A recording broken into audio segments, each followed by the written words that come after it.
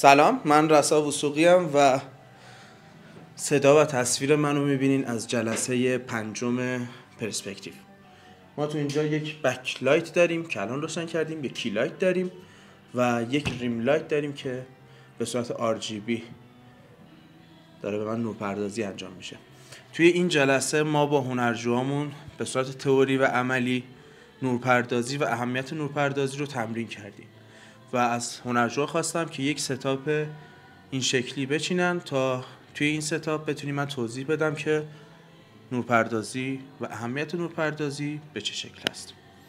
مخلصم. ارادت.